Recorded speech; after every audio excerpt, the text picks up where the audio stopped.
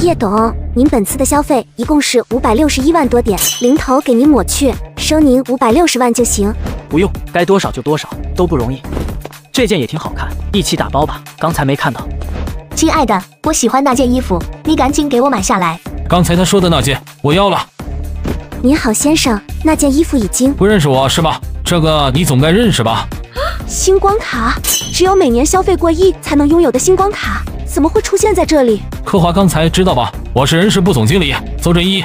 科华刚才是山京市有名的钢铁集团董事长，就姓邹。难道原来是邹公子？没想到是邹公子大驾光临。小女子有眼不识泰山，还望邹公子莫要见怪啊！这有什么怪不怪的？我心眼还没小到那种程度。反正我们本来就不是一个层次的人，要是什么人都能认识我，那才真是奇了怪了。刚才这女人选的那件衣服，我女朋友喜欢，给我包起来吧。可是这，胡店长买东西也得分个先来后到吧？理解。这，抱歉，理解。邹公子是星光会员，星光会员有优先购买权。这样啊，那算了，你找人帮我把包好的这些放到车上就行。好的，好的，谢谢您的理解。滚边了。长得倒是不错，跟我玩几天，我免费送你几件，怎样？哼！他包好的那些都是什么？胡店长，你好好跟他们说说，这些东西都是什么？邹公子，这些都是店里刚到的一批新品，叶董和他女朋友已经买下来了，并且付完账了。倒是有些意思。现在什么人开个小公司都能随随便便成董了，搞得好像是什么大集团一样。小公司，仅凭一个龙兴集团，日收入就得有几千万吧，更别提阿洛斯医疗、金鼎商业、餐饮、房产这些产业带来的收益。在邹公子面前，我的确没有资格称董。毕竟科华钢材可是国内有名的重金属上市企业，按照现在的股价来看，貌似总体市值已经接近二百亿了。切，好像星光会员的特权之一就是只要还在店内的商品，不管有没有人付账，星光会员都有权利过目，对吧？是的，邹公子。可是，那你还犹豫什么呢？全部给我打开！要是我女朋友有喜欢的，就买几样。等我们挑完了之后，别人才有资格再买。我勒个亲娘啊！就算打开，你也不会全买的。你为了装个批，让我得罪叶董这样的 V V V V V I P，这不是纯粹难为我吗？没听到我老公的话，都在磨蹭什么呢？不想干了是吧？你们不想干，有的是人愿意干，麻溜的给我滚蛋！星光会员特权之二，持卡人有权利向总部提出开除店长及其店员。真是神仙打架，小鬼遭殃，谁都得罪不起啊！叶董，您给个话，只要您不想让我拆，那我现在就把这些东西全部送到您的车上。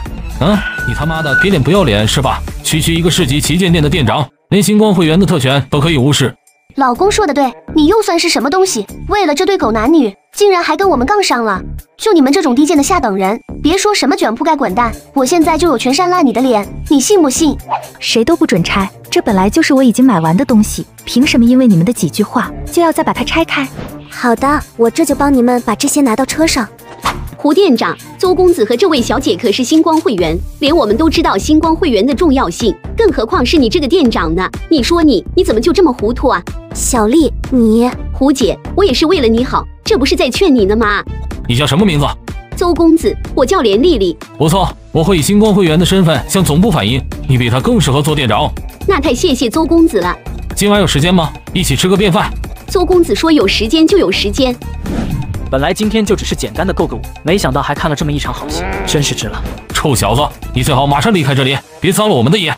我要是不呢？不长眼的东西，坏了老子的大好心情。这两个巴掌，就算给你长长记性，以后把眼睛睁大了再做事。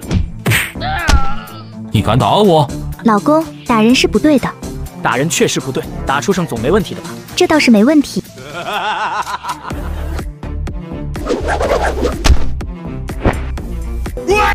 打，给我狠狠的打！邹哥，我们也想打，可现在的情况是打不过啊。我给你们每人十万，不，二十万，你们给我狠狠的教训一下这个臭小子。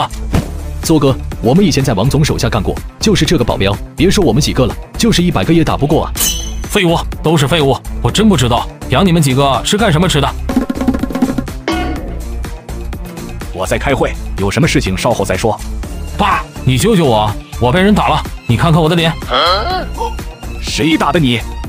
是他，是个什么狗屁的叶董。邹董，别来无恙啊。龙兴集团董事长叶董，正是在下。这到底是怎么回事？要是让你儿子给你解释，他肯定又得胡说八道。还是我稍微浪费一点时间，勉为其难的跟你说一下事情经过吧。后面的事情就不需要我多说了吧？我肯定不会同意，那他肯定也不同意啊。最后只能看看谁能打呗。真不好意思，他没打过我，他养的这帮狗腿，应该也打不过我随行的哥们。